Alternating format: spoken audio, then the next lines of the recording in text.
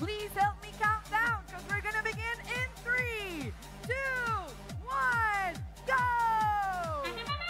Into the sandstorm come the robots in the first match of the finals on Roebling. All the bots advance. Eight seconds left to go to try to score. 54-11 does so for the Red Alliance. 38-47, Spectrum does for the Blue. Sandstorm lifts, the drivers take control. We've already got a bot on its side over here by the scoring table. Red Alliance has bot 1658 Tech Heads on its side. Blue Alliance zips around. 68-29, playing some defense with the remaining two bots of the Red Alliance. 54-11 Power Eagle gets by and tosses in cargo for the Red Alliance.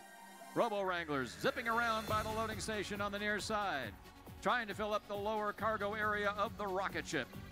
Their partner, 38-47, Spectrum, delivers cargo time and time again into the cargo ship and their rocket. 24-85 of the Red Alliance. Warlords takes out a hatch panel and tries to put it onto the cargo ship. They're successful. 3847 Spectrum raises a hatch panel high and puts it on the blue rocket. 5411 Power Eagle has more cargo, zips back to the cargo ship, pushes it up, drops it in. Robo Wranglers grabbing more cargo for the Blue Alliance, coming back over to the cargo ship, pops a piece of cargo home.